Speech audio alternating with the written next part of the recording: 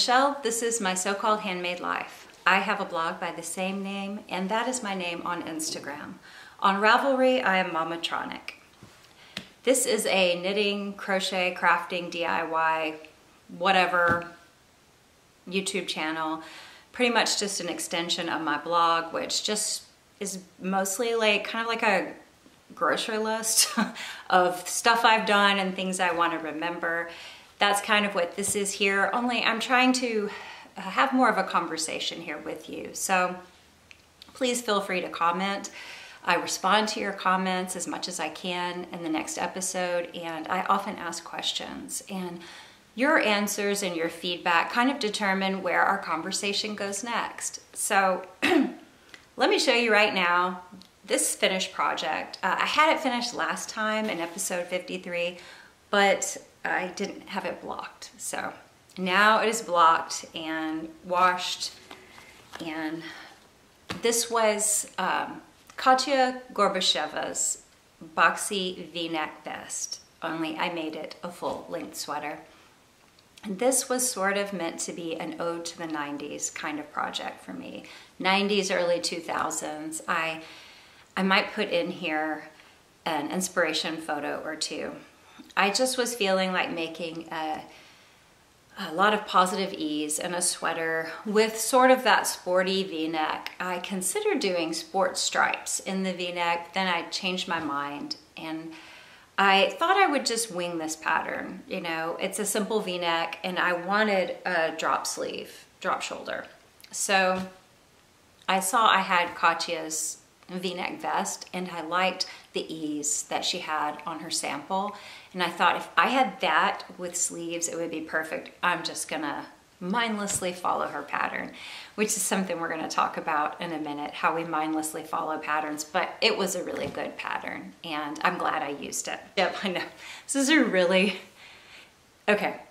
This was meant to be a kind of a nostalgic knit that made me think of sweaters I wore back in the 90s. And nothing is more 90s than a destroyed ancient Hanes t-shirt sticking out of my sweater. So it's pretty accurate. I have authentic 90s here. Sorry, my uh, camera, I don't have a lot of space in here. Uh, there's dogs and furniture everywhere. But this is the bottom. It, it's not a high-low hem. It's just a straight hem. I have Wool of the Andes Sport as the contrast color for the ribbing. I made uh, a size, I think it was 46 or 46 and a half, I believe, was my um, size. So I'm thinking that's a medium, possibly a large. And I wanted it to have some ease. So it's got about 10 inches of ease and I'm very comfortable in this to make it a sweater, not a vest, because there was some shoulder decreases here, armhole decreases on the outer edge of the arm. I just didn't do those. I omitted those. I did do the sh short row shaping at the shoulders, which I probably didn't have to do since I was wanting such a casual, you know, fit. But I went ahead and did them, and I just kept in mind when I followed the directions that there were extra stitches that I did not decrease on the outer edge of each shoulder. So my, my short rows just didn't go all the way to the edge. I then picked up like maybe 80 stitches all the way around the sleeve for this yarn that I'm using. Um, I believe this pattern calls for DK, and I would say this is a sport or DK yarn. It definitely felt like sport weight. It has fulled a little, like bloomed a little with blocking. So it, you know, boucle has a bit of a thick and thin texture. There really aren't any thin spots showing. There's no, no um, I don't know, sparse areas uh, after I washed and blocked this. It's 30% uh, wool, I believe, wool blend by Textures Yarn and that is a Fort Worth company.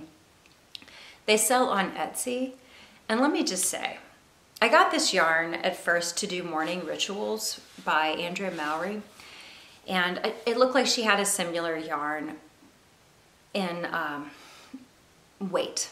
But when I knit this up, I just felt like the pattern the texture called for in her pattern that it just wouldn't be visible enough in this yarn. So I was like, well, I'm just gonna knit a straight sweater without any kind of textural stitch pattern to just enjoy the teddy bear feeling of boucle.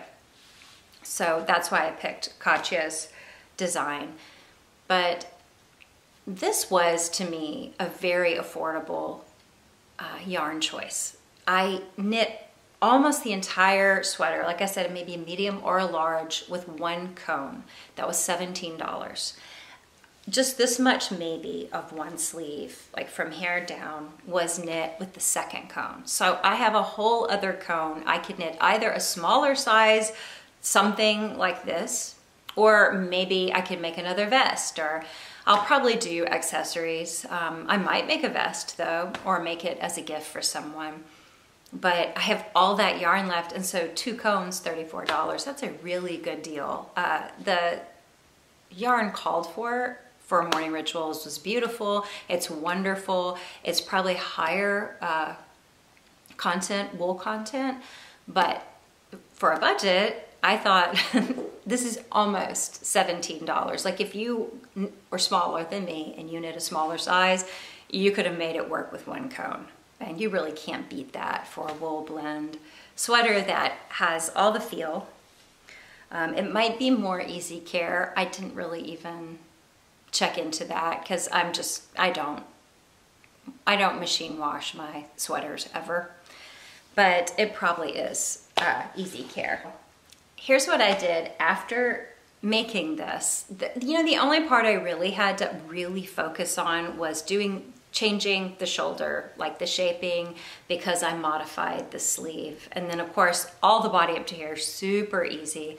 These are very straightforward uh, neckline decreases and then the sleeve, you know, I decreased every two inches all the way down and I have just a little bit of a gather here with the cuff.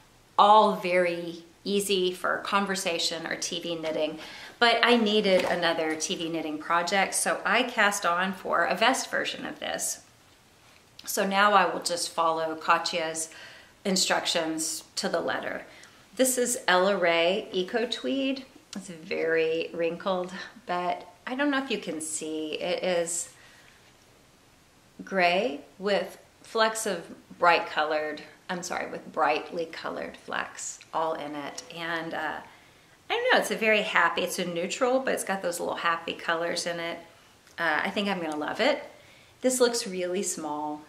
Um, it is though, I mean, I've been checking my gauge. It does stretch out, you see? I also knit a little bit of extra length just in case I want to widen it, depending on how I want to wear this vest. Uh, if I want to make sure I have lots of ease, I'm planning on stretching it a little, you know, with blocking. So a little length helps when I widen it, it'll stretch up. That probably doesn't sound like good knitter technique, but oh well. I kind of just fiddle with things till I get them how I want them. So that's one side. I'm ready for the sleeve decreases. So it's all the way up to here and it's ready to make the sleeve decreases. Um, I'm very excited about how that's turning out. And other than as I work this, I will have to pay attention, but again, the back or the front. Actually, that is the back piece. The front piece, um, same thing, super straightforward, and then there won't be any sleeves, so it's actually gonna be a very quick knit. So those things are done. I've done a bunch of other things though. We are doing a a knit along or make along. It doesn't have to be knitting. In fact, I'm gonna probably do some crochet in this. It's called the Recycle Remake, ah, Recycle Reknit Remake hashtag on Instagram.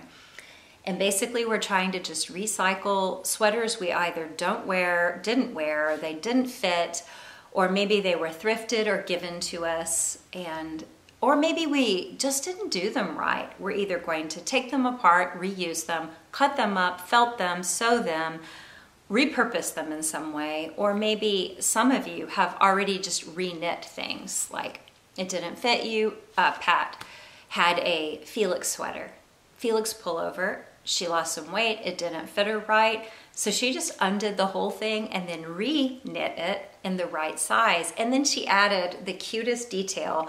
Um, if you look under the hashtag, recycle, reknit, remake, you'll see all of these projects I'm talking about. You know that little detail, uh, raglan detail in the Felix sweater? She added it down the side. So she made a cute little ad addition to the sweater as she was reknitting it. I guess she's so familiar with it and knew what she would like. And it is a really sweet idea to do that. So I showed you last week and the one before, I had some scarf yarn uh, from a bargain bin scarves at the store where my daughter worked when she was in high school and in college. And they were maybe, I'm thinking $3 for a scarf, uh, a dollar for a hat. It was something ridiculous like that. They were very plain, but I could tell they were wool blend. And they had that roving type, kind of like Bernat roving, but they were thicker. And it's difficult to find completely wool, super bulky yarn that is affordable if you want to make something larger than a hat. At least to me, it is. So I picked up a couple of scarves, and maybe a hat. I used a gray and an olive color. Those were the colors I got and I unknit them, wound them up, and then I never used them for a while. So I moved with them, I pulled them out and I showed you. And here is what I, my first make was the Durand Cowl by Tara Lynn Morrison of Goodnight Day. So I think this is just so great. This is just a great accessory. It's got a lot going on. You've got this texture, diagonal, stitch texture and then this fringe. And the coolest part of this was when I finished, when I got the scarf, I saved the fringe. I like I pulled out each strand of fringe and it was almost exactly what was needed to make the, and it was the right length, 12 inches for this fringe. So it, it just worked out perfectly. Um, I am going to do a blog posts. Everything I show here, I will have blog posts up. I've had company. My sister was visiting me this week, so I didn't post any of the blog posts I planned. I love you, but I love her more. So I visited with her. but I um I'm gonna have it up, a blog post telling you any details about it, but it's a very straightforward pattern and I do recommend this. This doesn't take that much yarn. I don't know my exact yardage, but it's under 200 yards that the actual pattern calls for. Super fun to make. Then I had a little bit left over and I wanted to try and get her Siska Toque pattern and thank you um, Charla for telling me. I was asking you, is it toque, is it toque? People don't say toque here. And my grandmother would say toke for some reason. I don't know why. Uh, Charla answered my question. It's toque. and people who wear them a lot know that. So this is a, a little short of the length it needs to be for the pattern. Now it fits just like it is, but you know, to have a little bit of cool, um, uh, like, you know, little extra room for the beanie. I believe I can get it through blocking though. None of these are blocked yet.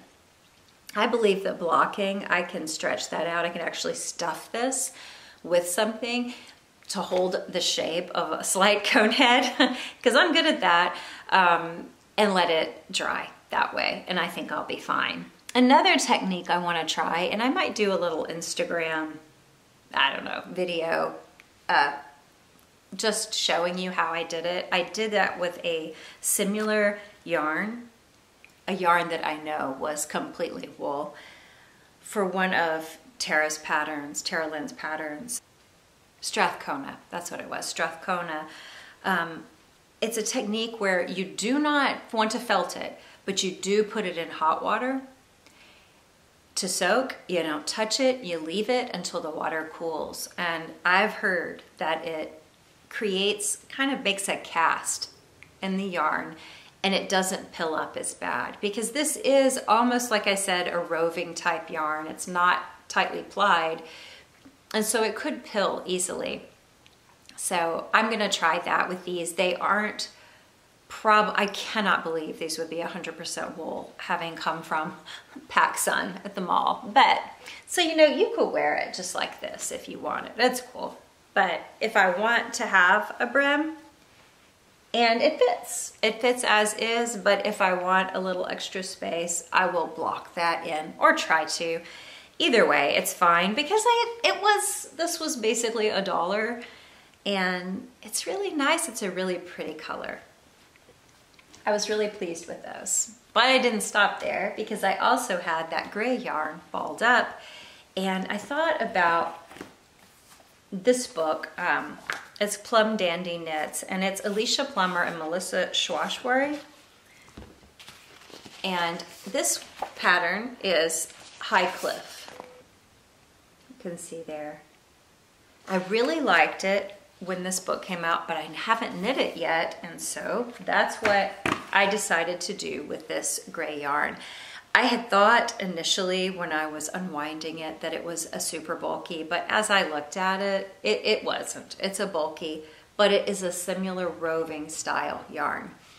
So knitting the swatch, I basically made my, I just made, I did a swatch of stockinette, but the swatch for the pattern, I just started the hat and it looked like it was the right amount of stitches. Everything was fine width-wise, but my row count was off. So I actually did an extra repeat of the pattern to get the length. This is supposed to be about 11 inches from top to bottom. So I feel like I have the same look going. And now all I need is to put a pom-pom on it. I had a little yarn left. I could have made a pom-pom out of this but I decided to try and use a, um, I have some faux fur pom-poms I got a while back, and I think I got a few. Hmm, I think they were on sale at Michael's. Like, there's this one, which probably I will use because of the color. I just think this is sort of a gray, and it's a nice uh, color match. Do you think? I have, uh, this is a brown gray. It's not bad. It's not bad. I'll probably go with the other. This one is a loops and threads, so I probably got it like probably for a dollar at Michael's. I have several of them, and that's what that means. when I have several of something, I got it at a bargain. And uh, and I was gonna make a bunch of hats, and clearly I did not make them. Here's another one. Now this is buttercream. This might actually be the one. See these two? I don't know which. But anyway, I just need to tie them on. This is, um, I got this from an Etsy store and it comes ready to tie on with the strings, um, this thread or yarn. You can tie it on and then you can untie it and reuse it if you change your mind and you don't want to use that. I really like that about this one. Um, ooh, I found something else in here I want to show you guys for like recycling uh, inspiration.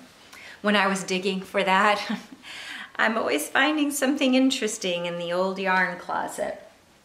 So with that extra yarn that I did not want to make into a pom-pom, I decided to try one more Tara Lynn pattern that I've looked at, and that is this one, Windsor Turban, or Windsor Headband.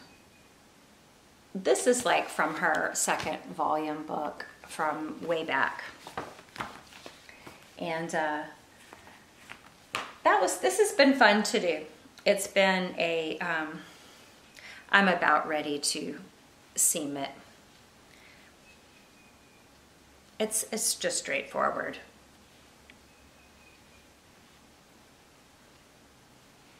It's a nice little ear warmer for when I'm out walking with the animals or I don't know, something like that. Walk, I say with the animals. I don't always walk with my dogs, but I pretty much do every day.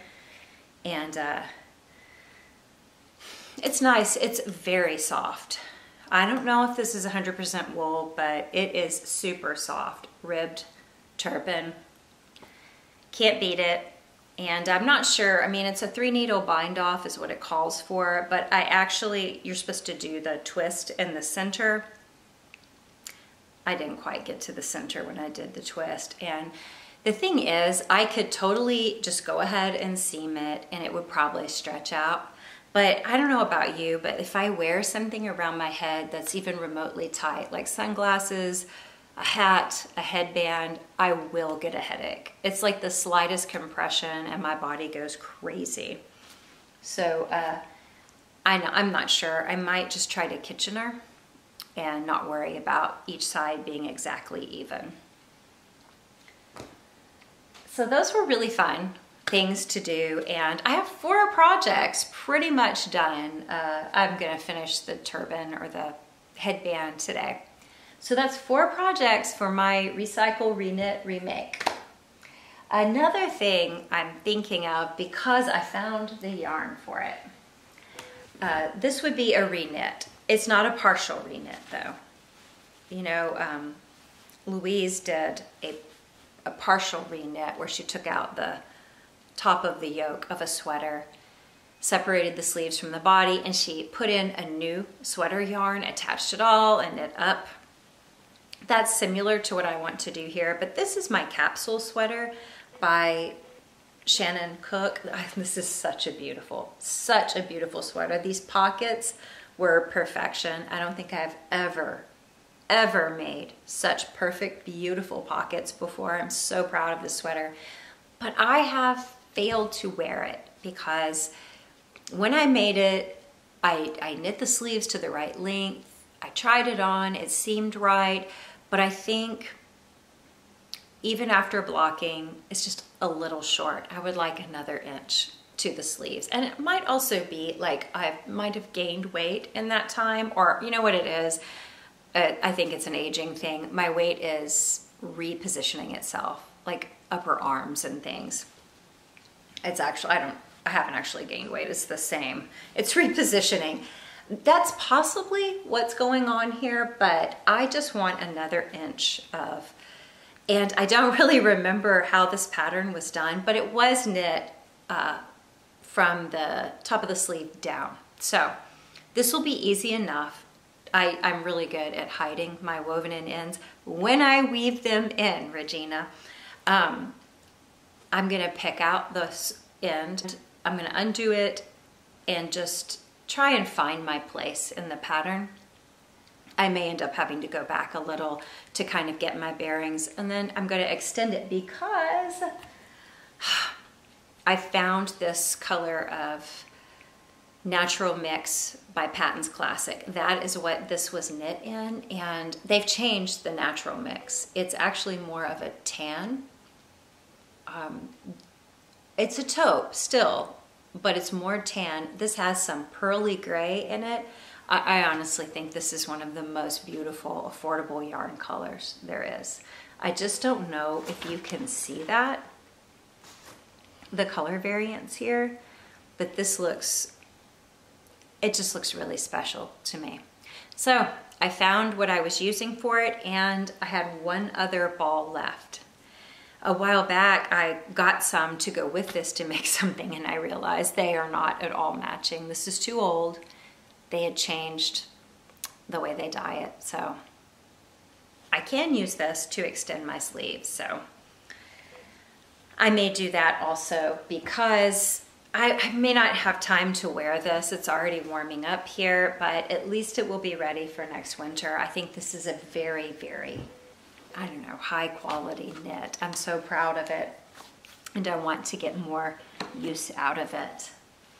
So you guys have been doing quite a bit of reknitting and remaking or you have big plans. Um, Louise fixed that sweater that I said. She also got a yarn bag gifted from a friend that had a half finished tea cozy. So she's going to finish that tea cozy unknit a sweater and you are reknitting a hat, I believe. Um, that's all a lot of projects. That's exciting. I'm excited to see how it goes because she's been posting with the hashtag on Instagram.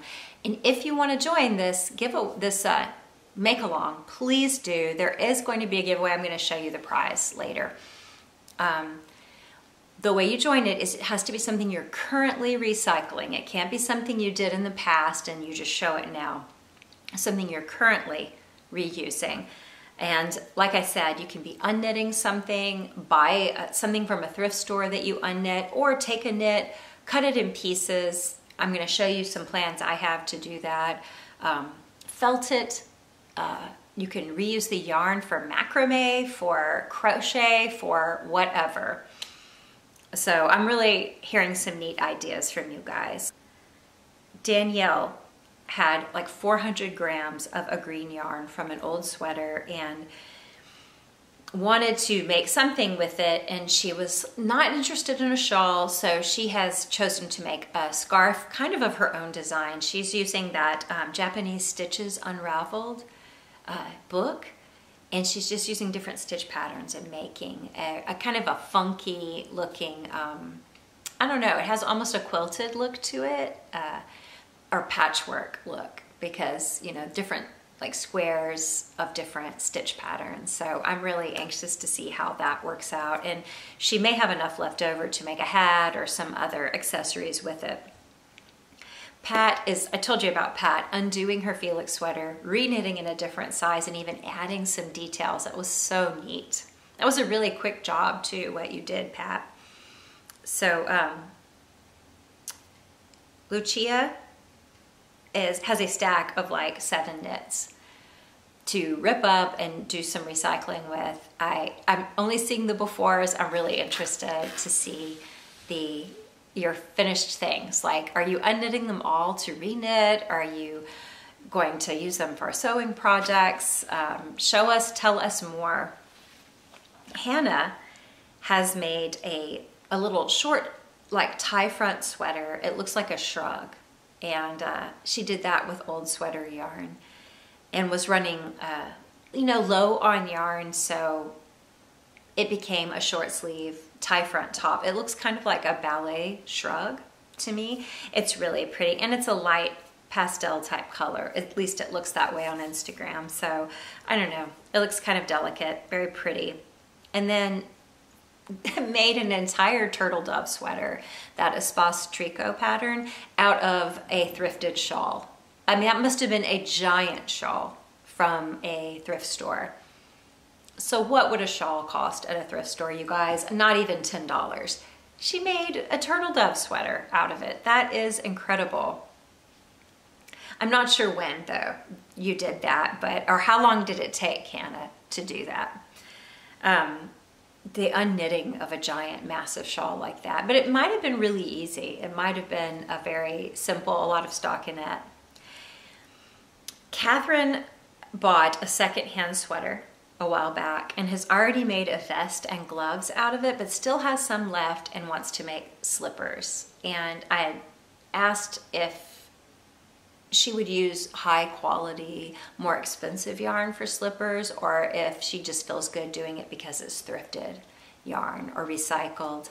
Um, and I wanted to show you my Innisquar uh, slippers. She had recommended that if you do something that's not single ply, you're, you're fine for slippers. They'll hold up well. These slippers that I made are the Innisquar uh, slippers by Chelsea Berkompas. Um, I made these a few years ago. I don't wear them every winter. I don't always get cold enough and I have wool socks on all the time, but I have worn them quite a bit. And they are Lopi, and Lopi is kind of like a loosely plied yarn, but you know, it has all that like grip.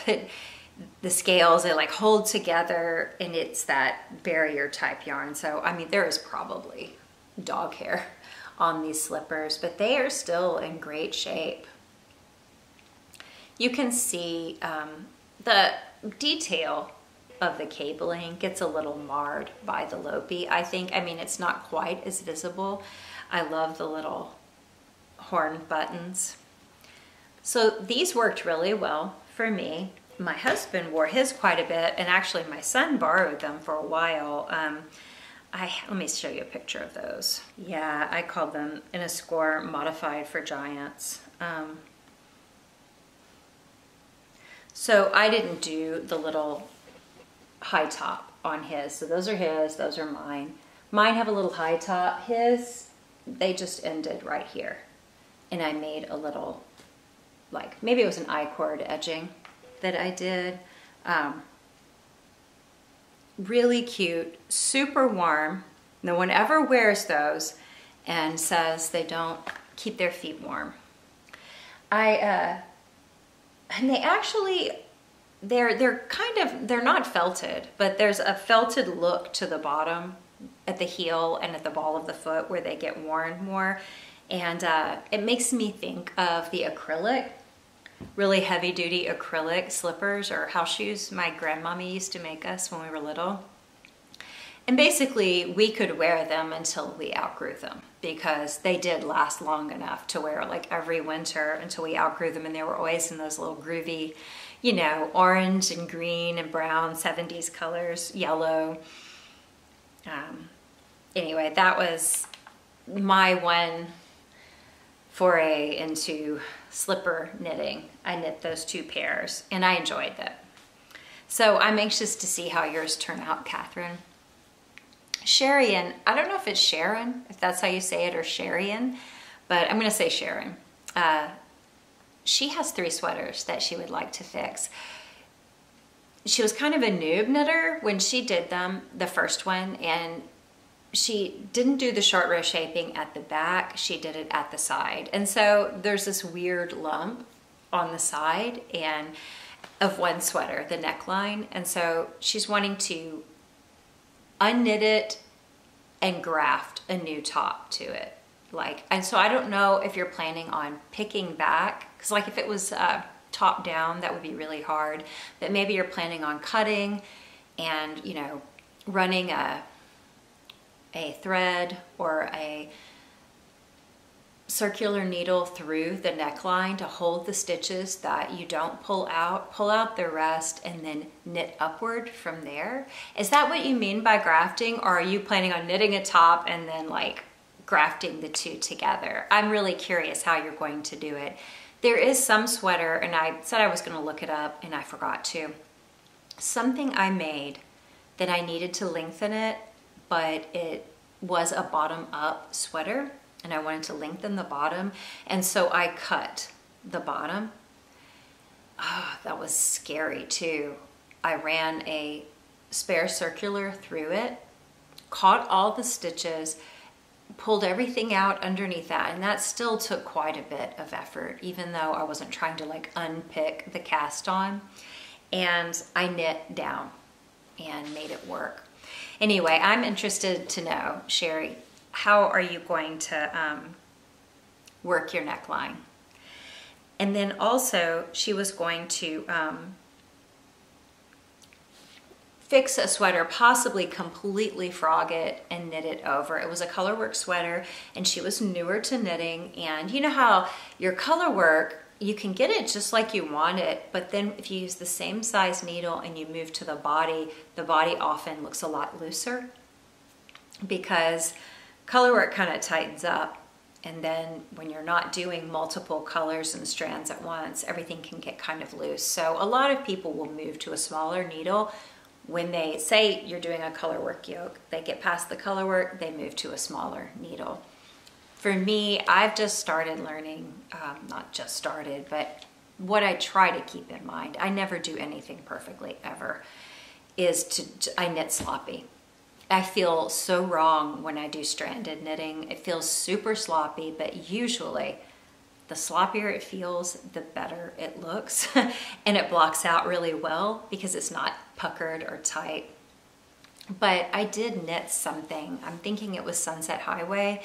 And even though I kept that in mind, I had the same problem as you. The body just, eh, I don't know, it just didn't match. And it was fingering weight, very thin yarn. It just didn't, it didn't have the same heft as the color work section, which had a lot of colors going and it just clung, clung hung weird on my body. So anyway, I'm interested to see if you're just going to reknit the whole thing and uh, let us know what you're gonna do for sure.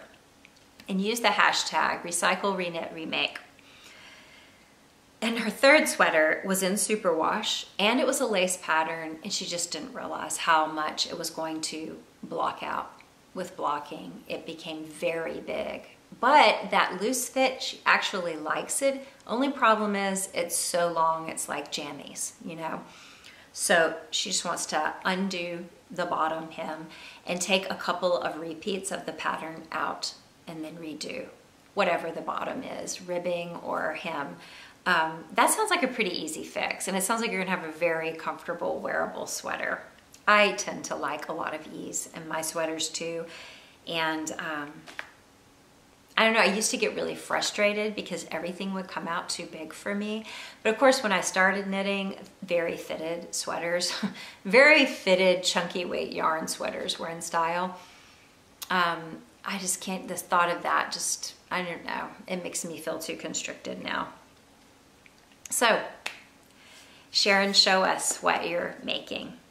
Lynn probably won't join in, but she um, heard what I was asking in the last episode to brainstorm and come up with good pattern ideas. And she was thinking of Joji Locatelli's super summer, super simple summer sweater. Let me show you guys what that looks like. It would be a great uh, stash buster or a great project to do with recycled yarns, especially if you didn't have enough of a color for an entire sweater. You could stripe with different recycled yarns or combine a recycled yarn with one that you just haven't used yet on the skein. And she even mentioned changing the texture for stripes, like doing a different stitch pattern for some of the stripes, which is a very neat idea. I love that. And you got me thinking, Lynn, um, you got me thinking about several. One was the Stash Dive Raglan that Summerlee Design Company came out with. This was made to knit with a strand of worsted weight and a strand of sock held together. And if you want, you could use like three sock yarns or three strands of a sock yarn held together, whatever to match that weight. Or you could combine a sport and a sock yarn or a DK and a, worse, a DK and a, you know, sport. Basically, the whole point is to kind of have random striping. It all kind of blurs together. And look at this um, image. I, I really love this sweater. It's very cool. It's almost space dyed. It almost looks like a space dyed sweater but that's all like stash diving. That's a good idea for recycling um, old scraps or various sweaters that might be similar lengths or they don't even have to be similar weights. You can um, combine in such a way that you get the weight you need. I thought of that one. Another one I had in my stash, because I, I mean my stash, my pattern favorites is this color block sweater on the Lion Brand site. Um, what Lynn said about changing textures made me think of this. And this is a Lion Brand pattern. I'm sure it's probably free. And you see color changes. There's that raw deconstructed um, seams or the look of deconstructed seams. And then you have textural changes along with color changes. Another one is Annie Lepton or Boho Chic Fiber Co. her Scrappy Crop, which is, I think, made for bulky yarns. And so that's a great way to use bulky yarns. And you don't have to have, it's super bulky. You don't have to have a ton of them because it is cropped. And you can stripe any way you want. And she does have a little bit of, you know, use of purl stitches and you know garter here and there to kind of not only make it color striping but textural striping too which I like that's kind of like that plaid sweater I made um, I like the effect of that here's another one that I've had in my favorites for a while under Stash Busters. So yes, this is great if you want to recycle, but also if you're just into using stash, you might like these. And I link everything I talk about in my notes and on the blog post. So this is Regina Weiss's Scrappy Knit Shawl. And there's the same idea. Your striping, your scraps. And really you could probably just do knotted, you know, um, is it a Russian join?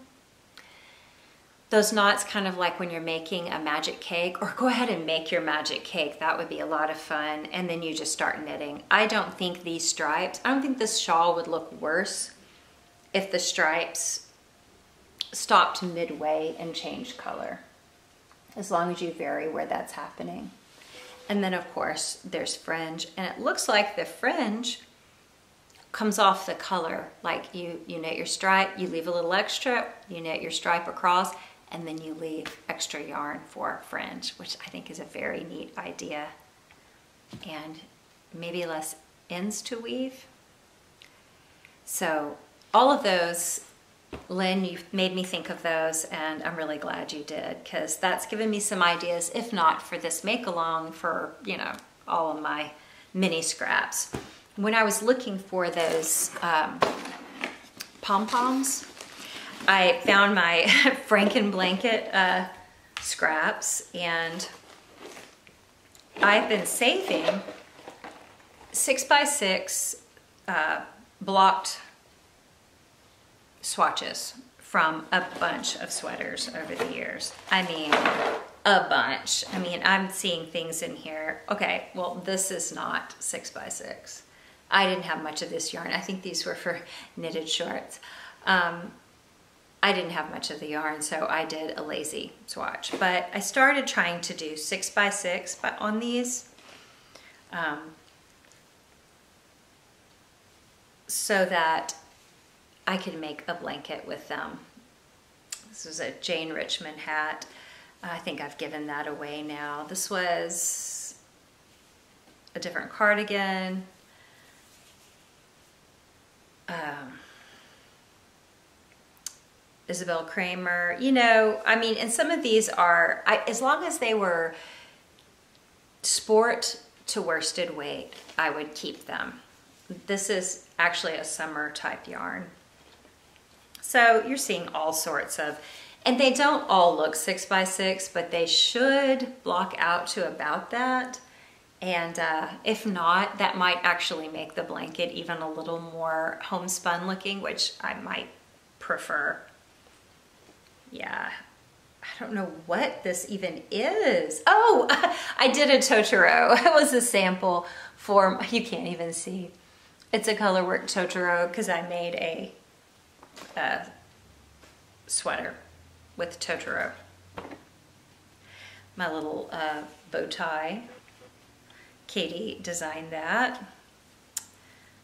So yes, I have uh, another, this is another thing that you can do with, that's the Everett Henley. I mean, there's just a bunch in here.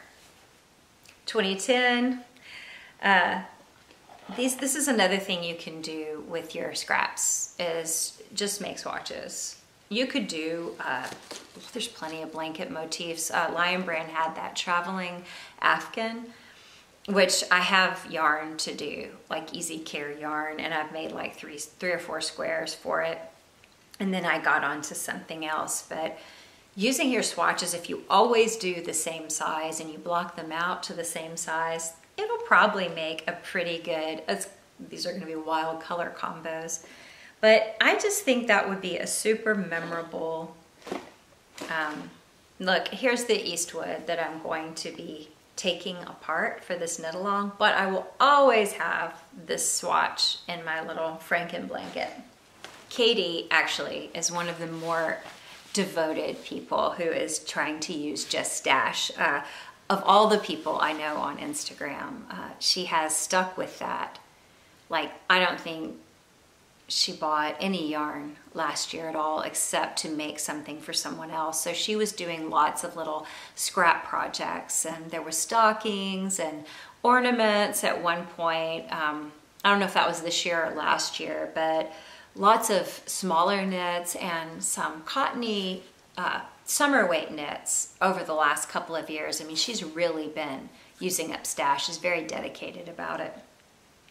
And uh, one thing she did have to possibly do for the Recycle, Reknit, Remake make along is t-shirts from different events, like running events and stuff that she could cut up into t-shirt yarn and make something. So Katie, what are you thinking of making? Are you wanting to crochet or knit something? I, I told you guys I was thinking about a rug, like not necessarily a bath mat, but like there's a bath mat in our upstairs bathroom, but then there's a place in front of the sink where, you know, a rug, a homespun rug would be kind of fun. I was thinking of crocheting like a spiral rug. Um, I linked in the show notes on the last episode a pinwheel type of rug. I think it was meant to be a blanket, but I would have made it as a rug. And it was knitted from Modern Daily Knitter, I think the first book. So another thing I thought of was baskets you know, like crocheted, stiff crocheted baskets for around your house. But then I thought about like when I go to Target or someplace with my daughter, like a craft store, she's like, you don't need more baskets. You don't need more stuff. You know, she used to be my, the little devil on my shoulder that would say, yeah, you should get it. You should do it. Do something for yourself. And so I'd be like, oh, I don't know, I don't know. Do it, do it. But she's become very minimalist and also very budget conscious as an adult. And she's like, you don't need more baskets, you don't need more stuff. And so I thought about the baskets and I thought baskets lead to stuff because you just end up putting stuff in it. And I have enough baskets. So here's what I'm thinking would be a good idea. I I want to do this. I have mixtape yarn from Wool and the Gang to do one of these, but I also think it would just be fun to do something like this. I, there's probably more patterns like this, but the Milo bag, to me, it's like the perfect beach bag. This is a Wool and the Gang pattern. I don't know if it's free, and it's very hard to tell. Like for instance, it could look like that. And so you can crochet your own strap and just use some fastenings, which I found fastenings like this actually in jewelry, cheap belts, um, uh, that's like used stuff from a thrift store, but you could also just, you know, go to Joann. You know, mixtape is basically like t-shirt yarn. So there's probably all sorts of market bags and beach type bags that t-shirt yarn would be great for. And it could stripe. You could just kind of make a magic cake out of the t-shirt yarn because that's kind of already what t-shirt yarn is. There's knots in it. You could even work with the knots and let it be part of kind of a funky look so that's what I'm thinking of doing with some of my t-shirt yarn or if I've got good enough like striping colors I might knit a little spiral or crochet a spiral rug I saw that Jane Richmond has testers working on a crochet rug right now. Um, I doubt it will be ready by the time I want to do that, but I could always do it later because we're always going to have t-shirt scraps. Pam used t-shirt yarn for a little rug or mat for her cat to lay on, which the cat doesn't lay on, of course. But uh, it worked and she enjoyed doing it. Um, I think it was a cow patch pattern from a Creativebug class that she used.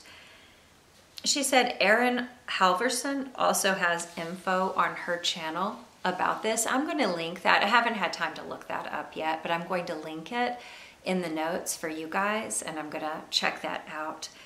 Also for um, recycling. Like she has a cardigan she's just finished, but it's super scratchy. It's not that comfortable. And she found an Etsy pattern online by Fibers and Twigs that uses adult sweaters to make mittens. You even utilize the cuff for the mittens. Um, that same site, I believe, is where she got uh, the idea for, or a pattern for sewing a dog sweater out of a Goodwill sweater that she had bought, like an adult size Goodwill sweater. So those are really great ideas. I have that linked also in the show notes. Thank you for those ideas, Pam.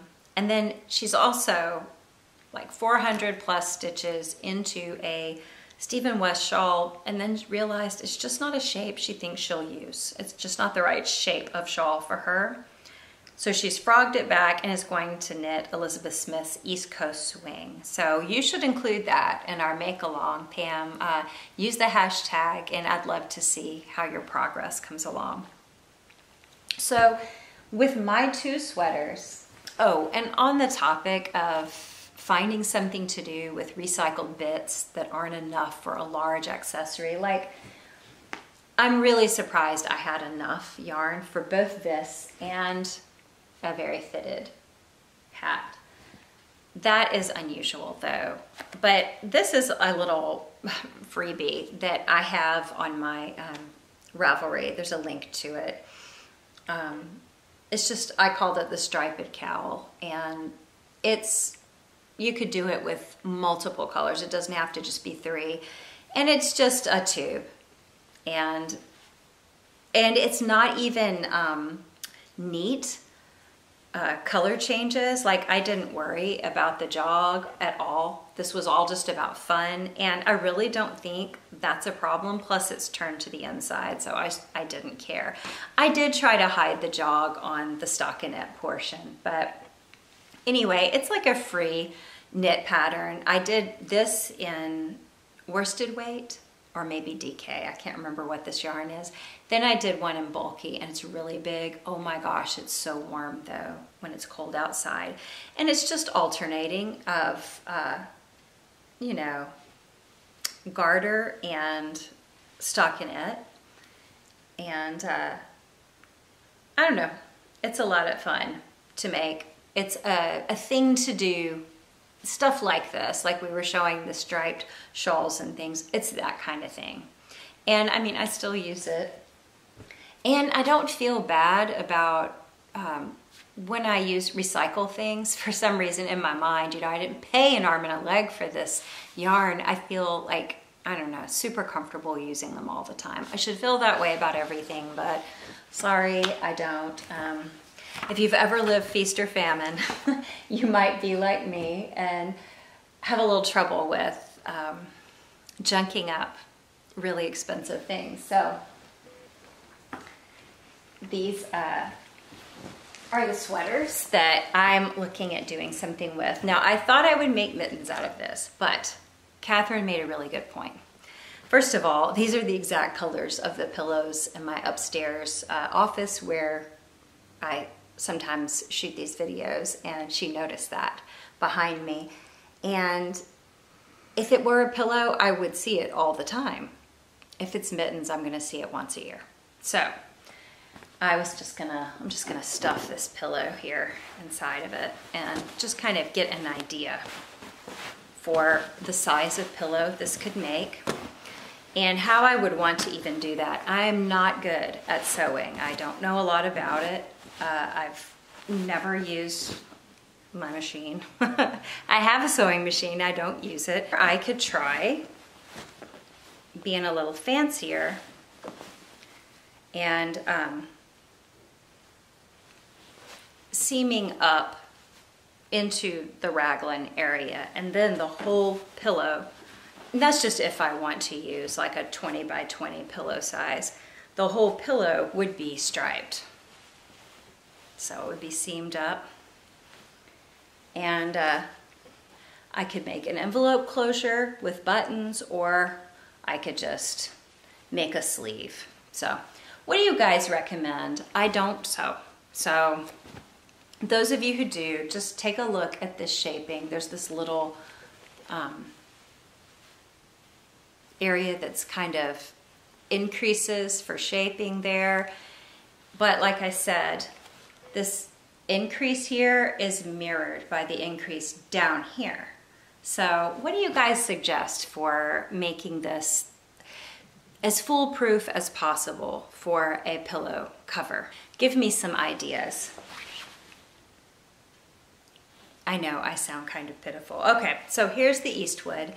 This is the one that you guys have encouraged me to rip back because this is a really beautiful green yarn. And I was thinking I definitely have enough yarn here. This sweater does not fit me. It was fitted when I knit it. And I probably knit too small a size because I often just lose sight of my gauge and also would skimp on yarn. But I could make a vest out of this and it could be a generous sized vest. It doesn't have to be, and it could be color blocked and striped because there's a lot of striped yarn here. Maybe enough for a vest by itself, but definitely with this cobblestone tweed. So I'm just looking for patterns right now and picking this apart won't be too bad. Um, look at my little mini pockets. Um, this shouldn't be too bad to pick apart. I mean, I made it. I still have the pattern. I know how I put it together. So I've decided to do a tedious, very tedious picking apart project. I still haven't found that skirt that I showed you in the last episode to pick it back to reknit, but I'm sure it'll turn up. And I did find the yarn for the plaid sweater if I choose to fix it. I can't believe how much I accomplished this week. I think it's because my sister was here and we just sat and talked and talked and talked for hours and I just was knitting away while we talked. So Lisa was saying, okay, Lisa remembers that Phildar vest that I showed you that I wanted to unknit that frog the skirt and use that slub cotton for that Phildar vest. Not sure it's the best project for that cotton, but I definitely want to make that vest. Lisa has that issue and remembers that vest. And Lisa, you should make it. I'm going to make it one day. It has to happen. And I love that it's an older pattern. Uh, I once in a while I go and I look through my favorites from way back when on Ravelry and I'm like, why have I not done this? And so much of it, I mean, there's some new things that are very similar and here there's this old pattern sometimes I own the pattern and I haven't made it. And uh, I don't know, sometimes it's nice to step back from patterns that are creating a big stir online and just do your own thing. And Lisa was saying that she kind of misses that creative energy that before there were patterns available for everything, just having to figure out how to do something on her own. So during the pandemic, she frogged a bunch of sweaters. You know, she just took stock of what she really likes in a sweater, what fit she likes, why she doesn't wear them, and she frogged them all back to yarn. So Lisa has been taking these different yarns from sweaters she's unraveled and she's been excited to try using them in different ways and for projects she would actually wear, actually use, so like maybe different sock projects or taking two different weights of yarn and holding them together to make the correct weight or marling two different colors together. And that's been like using her creativity in a way she hadn't been doing for a while. Like Lisa was like me. Um, like Katie said, she also has felt like we've got really dependent upon patterns and other people with current hashtag trends and things kind of guiding what we're interested in and what we make rather than just, I don't know, uh, using what we have or feeling a void, like something we just really want, and then just figure it out on our own. And I get that often things we figure out on our own can seem hideous or they can fail, but there's also a pride in doing that and um, I just think new pathways are created in our brains when we do that. It's really good for us. Um, I'm going to show you my first thing to ever make. The first thing I ever made was a purse. I knitted a purse. I just knitted a stockinette rectangle and then I folded it in half. I sewed up the sides with thread or maybe yarn. And I even instead of having it be straight like this, I kind of made it have more of a A-line shape. by, I don't know, pinching in more of the fabric as I sewed it up toward the top. And then I attached wooden handles I got at Joann. It was super simple. I didn't even know how to sew. I don't know how to do anything, but I was so proud of that project and it brought me great joy. Now, I've since made things that were a lot more technical, a lot more difficult. I don't use that purse anymore but it did something for me. It was really good for me to do that. Look, here's a picture of it. I later added a little rosette. I also made out of like Lion Brand homespun. This is uh, Lion Brand Yarns of Yore. So th that's kind of what you're doing, Lisa. You're getting in touch with that um, do it yourself kind of attitude. And Katie's also been doing that. She's just been pulling away from following hashtags and letting like Instagram and social media kind of help her choose her fabric with this pattern and instead has been looking in her stash and seeing what can she make work with patterns she has. You know, you confessed, Katie, that you went to Yield Joann's. I I did a Lion Brand Yarns of Yore uh, shopping myself. I saw Claire McLean's Dibiasky sweater. Have you seen it? Um, you know that movie, Don't Look Up? Yeah, it's okay. Um, I like David Sirota.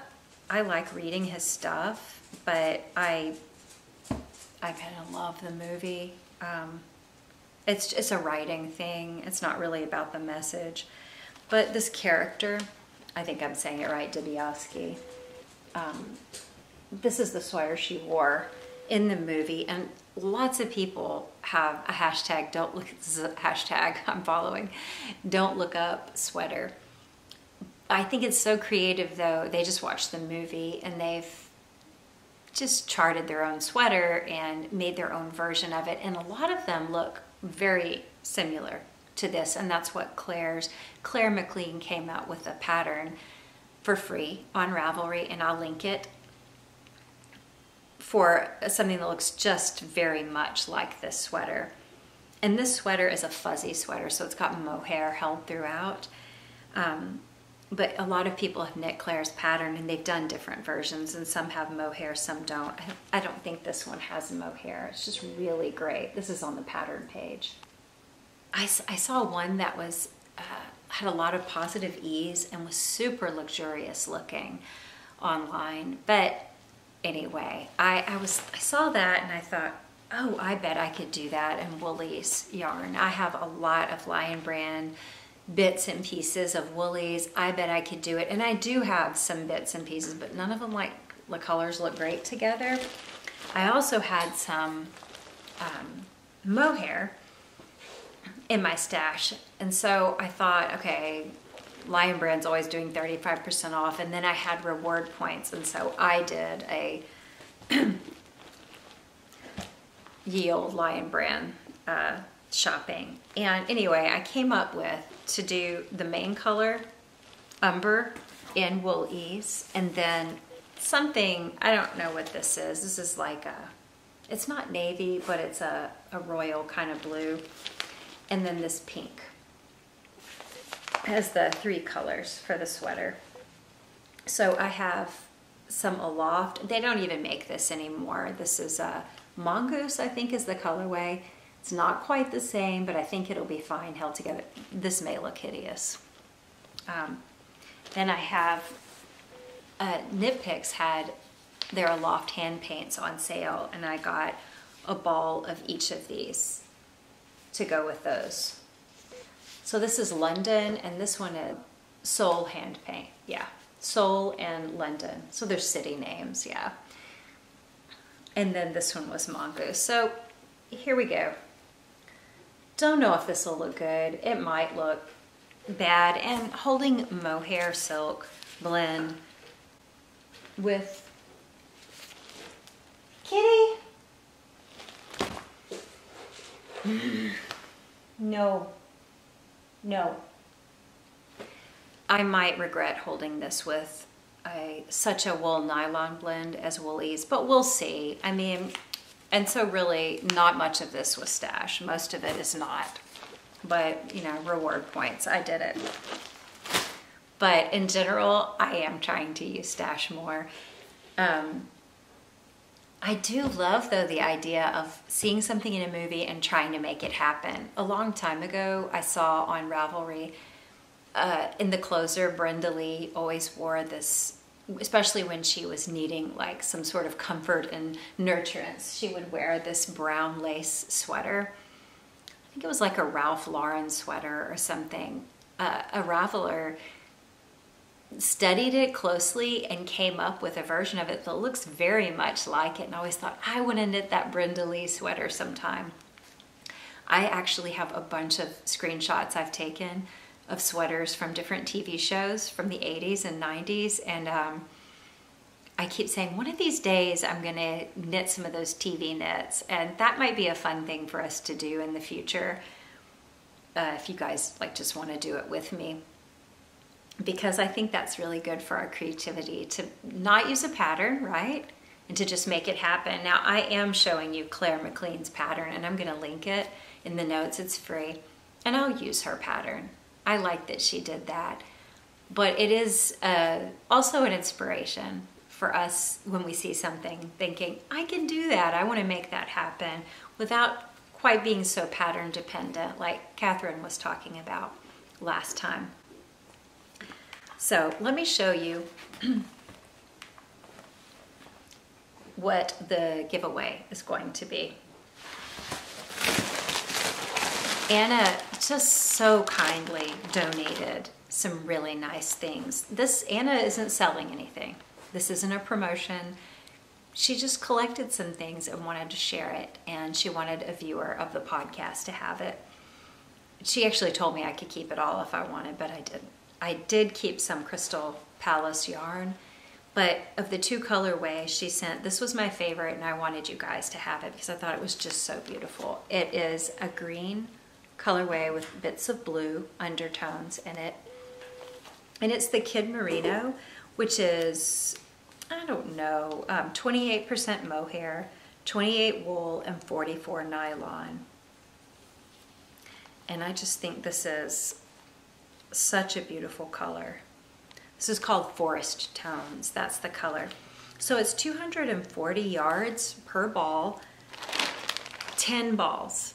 So that is plenty to make, um, to hold it along with a fingering weight or sport or worsted weight yarn to make a full sweater that's mohair or use it on its own or hold it with something and make accessories. But I love that this is actually an amount you could use for a sweater.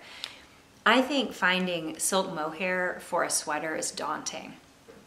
That's why, um, that's why for that uh, movie look-alike sweater I was talking about, the bulk of the mohair I'm using, it's old stash. Uh, I wouldn't have done it otherwise. I just the only, I got two discount balls of this. It's just really kind of expensive for a sweater. This is enough for a sweater, possibly with some ease. Uh, I just think it's so pretty. And then along with that, there's a project bag and it's, uh, it could be shawl size, definitely sock size, but maybe shawl size. And it's got the little handle. It's like a box bag. And inside you find a handmade shawl pin, recycled glass, and a handmade pin with a glass bead on the end. I think that's so pretty. And she also included some Karbonz double point needles. Earlier I was saying that I have trouble using metal, all metal needles like um, Addi's I am a loose knitter and they don't have enough grip and I find that my gauge gets looser and looser. Then I overcompensate sometimes and knit too tight. I use Karbonz all the time. I love uh, wooden needles and Karbonz work the very best for my knitting style. And so she has double points in size three, four, five, and seven. The sevens are kind of extra long, which these are like the main sizes I would probably use for making hats and sleeves and things. Uh, it's just so generous. Thank you so much, Anna. So if you would like to be entered into this giveaway, you just have to recycle something with us online. Now make it a current project, not something you already did a long time ago and you just share a recent picture of. Um, show, especially if you can show us the befores, that would be great. Uh, like I showed you my yarn that I had recycled and then as I'm working on the project, every time you post a photo of your progress on one or more projects you do in the month of March for Recycle, Reknit, Remake, you get an entry for the giveaway. So the more photos you post, the more you interact, the more chances you have. That's a really great prize. Um, and I'm excited to finally be giving it away. I've been holding it too long. Thank you, Anna, for that. Um, so Amanda asked if we were gonna do any more videos showing things around our house. I, I think we will. I kind of just need help doing that. And also, I don't know about you guys, but my home is never like photo ready everywhere. I try to keep the main areas clean, the bathrooms, but like our bedrooms are a wreck. I make my bed and that's about it. We have like stacks of books and papers on the chairs and the desk is covered and all sorts of, I don't know, computer and work stuff. So I will do that, but just as I get around to showing things or um, straightening areas up, we still have some projects that we have yet to do. And then like you were asking Amanda about the yard, um, it's not looking so great right now. A lot of things have died off for the winter and all my plants are under an arbor we made and enclosed for uh, while it's freezing still but I'll be taking those out soon and I want to show you guys the arbor and the patio, things like that that we've done for sure. I like showing DIYs around my house because I think it's really in keeping with the ethos of my blog and this channel. We, um, we do things kind of on the cheap, things that would maybe be out of reach for us financially, we make them more attainable by doing it ourselves. Uh, there's some creative creativity involved, right? And then our personal spin on things. I also like the idea of inviting you all into my home, but if I'm honest, I'm a little like shy about um, like showing my home. Do you know what I mean? I just feel um, like I have no problem showing like things I make, but I feel a little weird showing things I have. Uh, so maybe it's just I'm mindful right now about the housing situation all over the country and especially where I live. It just anyway, I um I wanted to mention to you guys like a lot of people are talking about displaced people in the Ukraine and other places. I follow a group uh, online called We Welcome Refugees and they advocate for our country taking in refugees from other places. And so right now they are for Ukrainians, but also Afghans and Syrian refugees. And I really like what they're about and I just like keeping up with them and some of the people who head the group. So I, am gonna have a link here for you to see, but uh, I don't know, maybe you have thoughts on this. I know, Lori, you said that the housing market is really discouraging for people where you live now. And I am just so conscious of it because I know people who were on track to own their own home.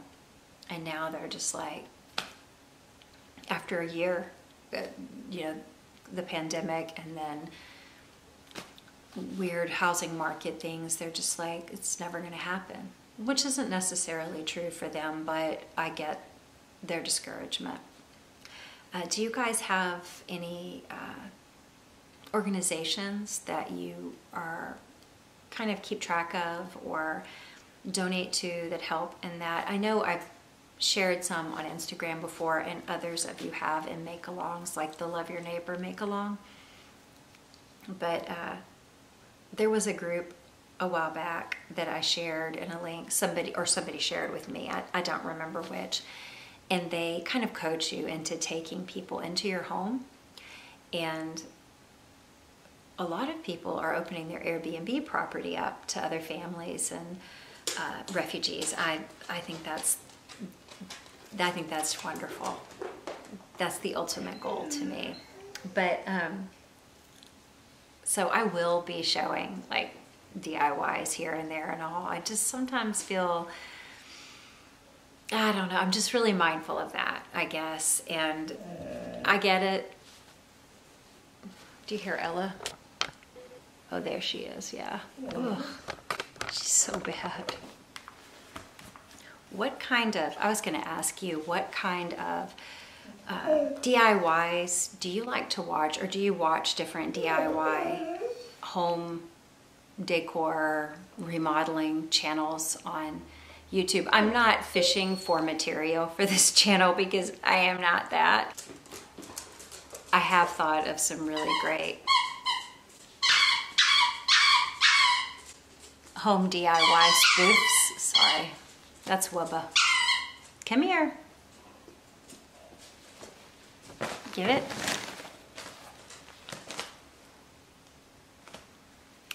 I have literally have nowhere to throw this. She's gonna pull the camera over. I'm gonna have to go. So that's my question. Do you like to watch YouTube DIYs? What DIY channels do you watch?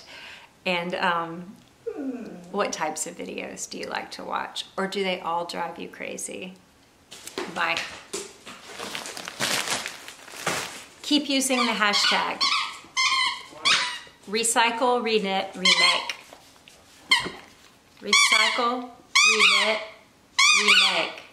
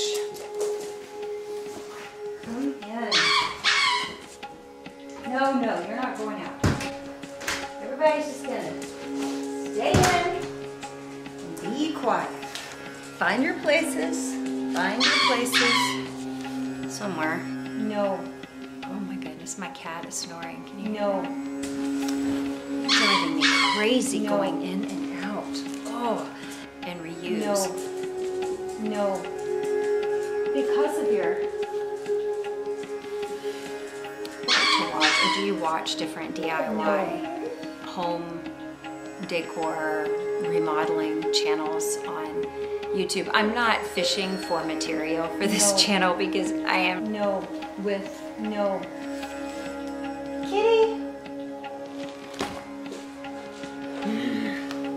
No. No. Cycle, reknit, remake. I'm gonna have to do all this over again, aren't I? No.